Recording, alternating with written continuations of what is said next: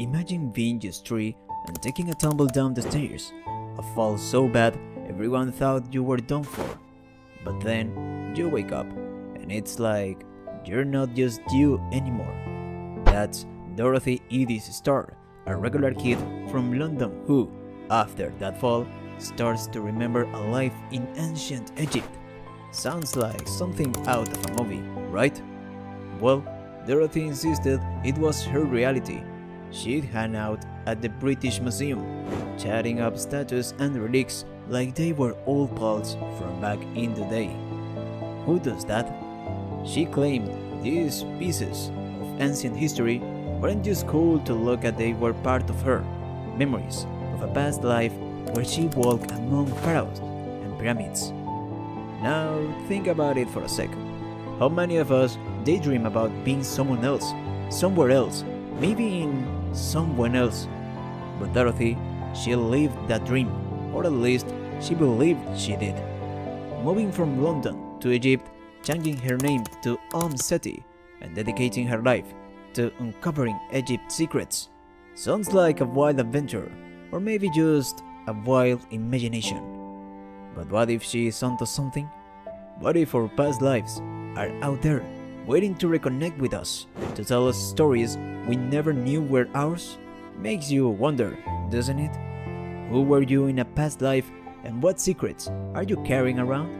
Let's dive into Dorothy's story, a tale that blurs the lines between past and present, and see if we can find a piece of ourselves along the way. Childhood and the accident.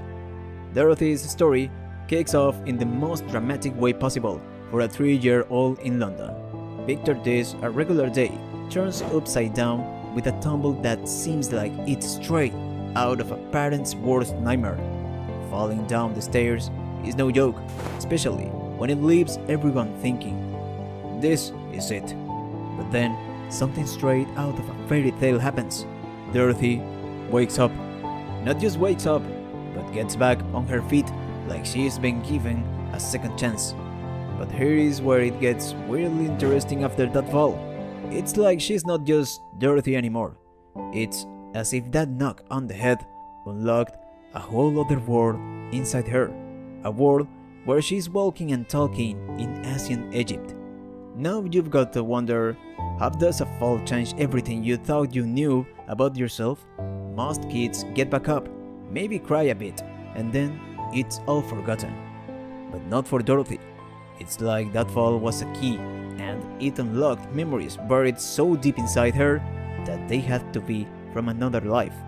Suddenly, she's obsessed with everything ancient Egyptian, and not in a mummies are cool kind of way, but in a this is my past calling me back kind of way. What if things we got through today are just echoes from our past lives trying to tell us something? Dorothy's life throw this crazy idea into the mix. She turns an ordinary childhood in London into an extraordinary journey back to ancient Egypt, all because of one bad fall. Makes you think, doesn't it? What memories are hidden behind the scrapes and bruises of our own lives, waiting to tell us stories we can't even imagine?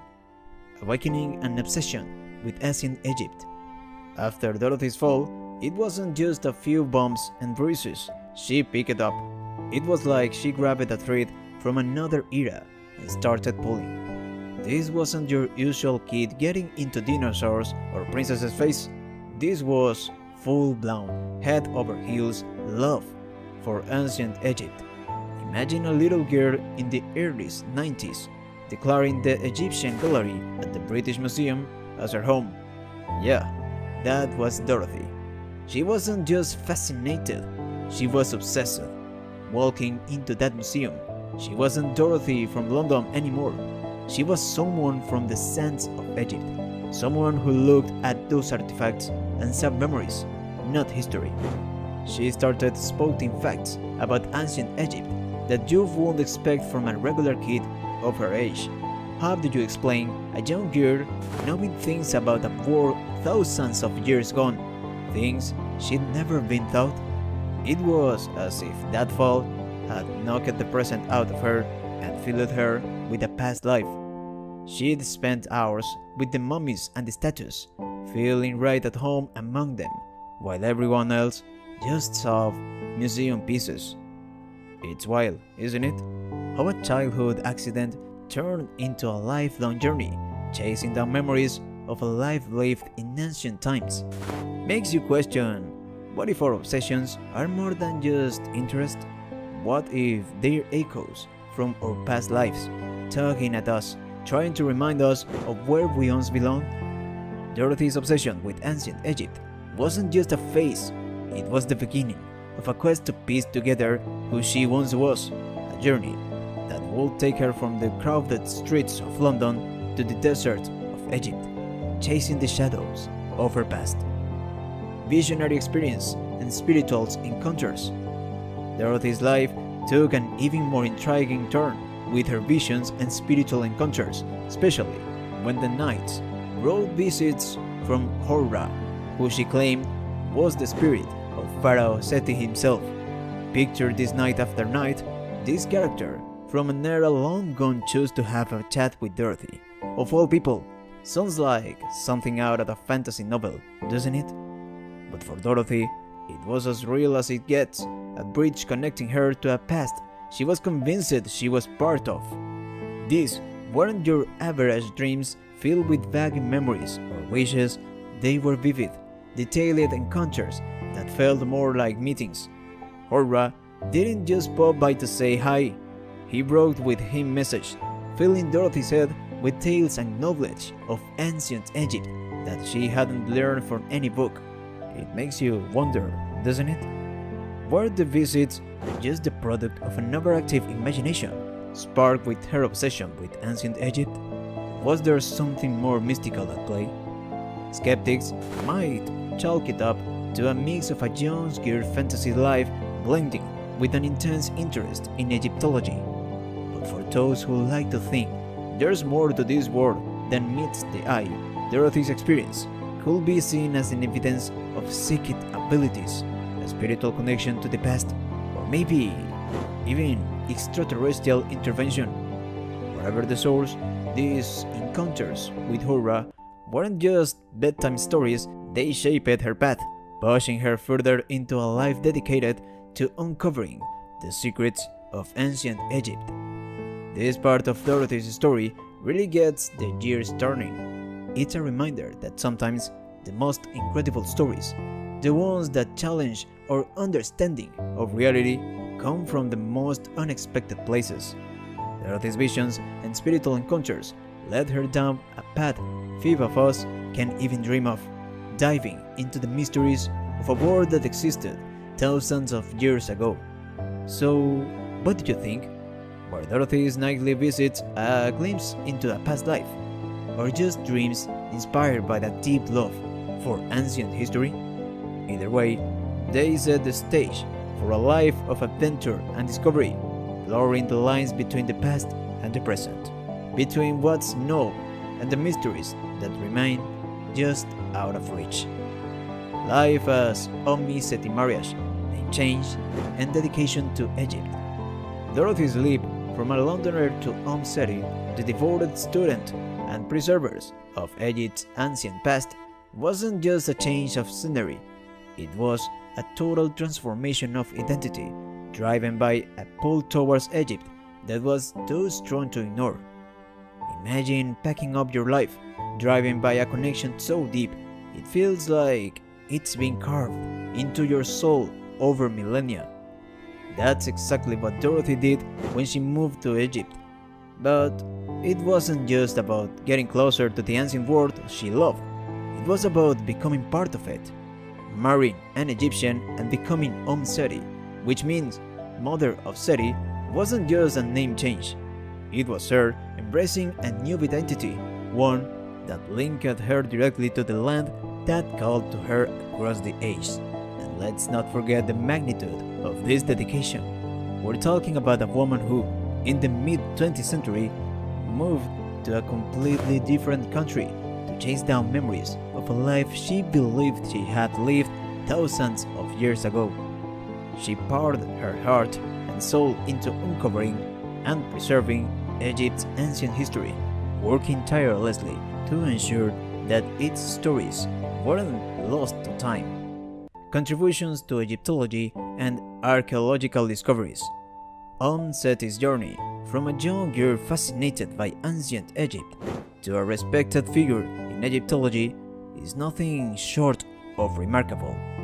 After moving to Egypt and immersing herself in its history, she not only became known as umm Omm Seti, but also made significant contributions to the field of Egyptology, particularly with her work in Abydos. Her profound dedication led to collaborations with leading archaeologists like Salim Hassan, Ahmed Fakhry, and Labib Habachi, participating in digs, authoring papers, and even identifying previously unknown archaeological sites through her claimed memories of a past life. Her most notable work was at the Temple of Seti in Abydos, where she felt an intense connection, describing it as walking into a place where she had lived before. There, she demonstrated her unique knowledge by locating scenes depicted on walls murals in complete darkness and identifying the location of a garden that, upon excavation, revealed ancient tree stumps.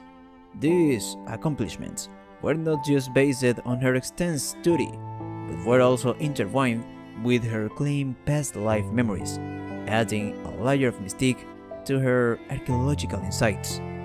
Omm Seti's life and work were characterized by a blend of scholarly research and spiritual experience. Her ability to navigate the academic and mystical worlds garnered her respect among Egyptologists and archaeologists, proving invaluable to the understanding of ancient Egyptian religion and culture. Her enduring legacy in Abydos, coupled with her role in guiding tours and educating others about Egypt's ancient past, solidified her status as an indispensable resource for the archaeological community. Legacy, mysteries, and unanswered questions. Omm Seti's story, weaving through the leads of time from ancient Egypt to the modern day, leaves a legacy rich with mysteries and unanswered questions. Her life challenged our conventional understandings of memory, identity, and perhaps even the boundaries of life itself. Omm Seti was not just a scholar of Egyptology, she was a bridge to the past, claiming a connection to ancient Egypt that was as personal as it was profound. Her contributions to archaeology and her unique insights into ancient Egyptian culture have left an indelible mark on the field. Yet, it's the enigmatic nature of her experience, her vivid visions, her spiritual encounters, and her unshakable belief in reincarnation that continue to fascinate and perplex. Um, Om life is a testament to the power of belief and the depth of the human connection to history. She believed she was the reincarnation of an ancient Egyptian priestess, a claim that, for some, stretched the boundaries of credibility. Yet, regardless of one's stance on reincarnation, her dedication and contributions to Egyptology are undeniable. The mystery surrounding Omm Seti, like the localization of Nefertiti's tomb that she hinted at, or the diary of Seti she believed was hidden, remain tantalizingly out of reach. These unanswered questions invite us to ponder the limits of our understanding and the possibility of knowledge beyond conventional means. They challenge us to consider if there are dimensions of existence and consciousness yet to be explored. Omm Seti's stories force us to confront our perceptions of identity and the continuity of the self across time. It raises profound questions about the nature of memory. Is it possible for memories to transcend the boundaries of a single lifetime? Can a deep, abiding love for a place or a time not experienced in one's current life hint at connections beyond our understanding? And there you have it, the incredible journey of Omm Seti, a tale where history meets mystery, challenging what we believe about the past, memory, and even the essence of our souls. As we close this chapter, remember, the world is full of stories waiting to be explored, secrets longing to be uncovered. If Omm Seti's story has captivated you, stirred your curiosity, or even if you've got your theories, we'd love to hear them. Hit the like button, drop your thoughts in the comments, share this video to spark the conversation, and don't forget to subscribe for more tales that take you beyond the boundaries of the known. Your next adventures await right here on our channel.